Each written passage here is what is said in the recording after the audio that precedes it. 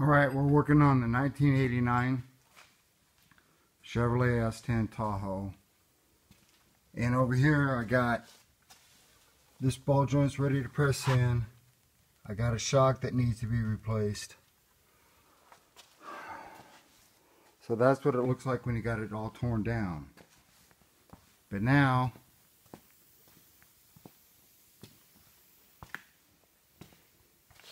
that's what it looks like when it's all put together correctly. And I put um, a lock washer and a lock nut on this with Loctite. The reason being because you can only tighten this so far. You don't want your rubber bushing to extend to the outside of, your, of the washer.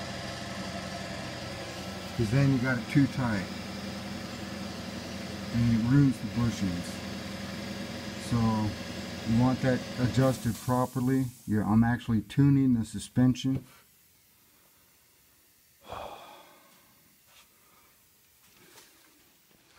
That's a Monroe gas charge shock, shock absorber. But for the back now, we got the load lever, load levelers.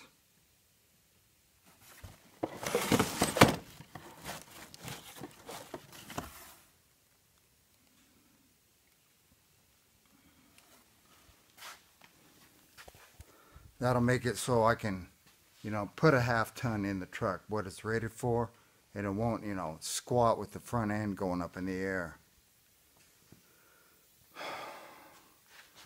So that's what we're doing. We're tuning the suspension. We'll make sure and get all the right parts to do it. And um,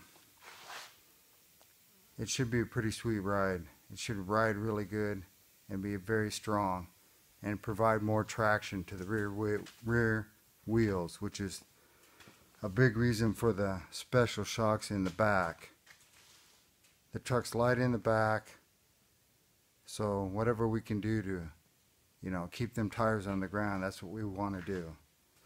So this is Jon Rudie with Rudie Racing signing off.